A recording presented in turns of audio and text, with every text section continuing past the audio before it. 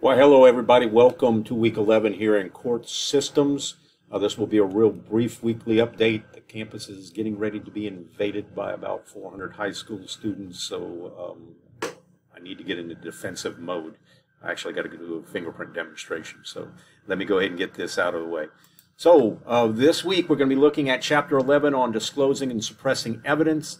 Start working on the exam review that you'll need to submit with discussion number 11.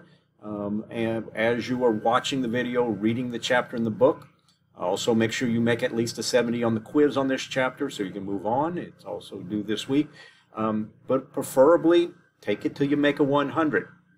And then you need to uh, complete your original post for chapter 11 and your follow-up post for chapter 10.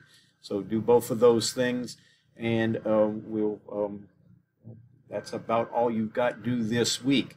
Um, do want to mention one other thing.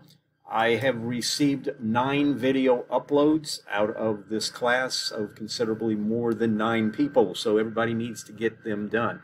If you uploaded it, go back into the uh, you know the uh, the ShareStream section and see if your video is there. Um, it uh, because I've published everything. I did get email from four students in my two classes uh, regarding their videos. Um, and I've got one that uh, uploaded was not there. I've got one that uploaded it five times and it was there five times. Uh, you know that this system is not perfect uh, by far, but um, you know it's what the what we use. We can't upload videos directly to Blackboard because they're too big. Um, and uh, we can actually, you know, you can view them directly in ShareStreams, and it doesn't use the available uh, disk space for the college in Blackboard. We ran out of disk space when um, when we when the pandemic hit, and suddenly we were doing everything online. So um, that's why we're using ShareStream even though it's not perfect, but it, it you know it allows us to have the videos uploaded there. In the event that you've tried a couple times to upload it after you've contacted me, I will provide you with a, a, a different method to uh, you know upload it to either a Dropbox or or a um, um, my um, OneDrive, and then I'll upload it into ShareStream so we can share it to the other students in the class. Uh, because that will be part of the discussion, video discussion next week uh, where you'll be um, looking at at least three students' videos and asking a question of at least three students' videos. Now, when you do this, uh, I'll, I'll talk about it again next week, but I want everybody to have some questions, so don't everybody grab the first one. Uh, there will be a place in the discussion board where it will show the number of responses.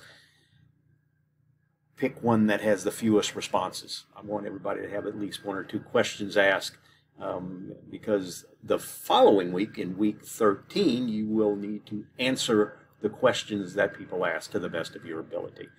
Well, y'all have a great day. Uh, wish me luck with all the high school kids coming. At least it's not, we get the elementary school kids too. They're fun, but they can get wild. Um, come to think of it, the high school kids can get wild uh, too. We had them once playing uh, handball up against the glass window where there were students inside the classroom. But yeah, but hey, I guess they weren't thinking. I know they weren't thinking. We'll talk to y'all later. Y'all have a great week, and if you don't have your videos uploaded, please get them uploaded and let me know what's going on. As to uh, you know, if you're having difficulties, uh, if you up, think it's uploaded in, in um, before uh, 8 a.m. on April 1st, um, then go in there and see if your video is there. If it's not, send me an email and we'll try to upload it again and send me an email and let me know what's going on. Y'all have a great week.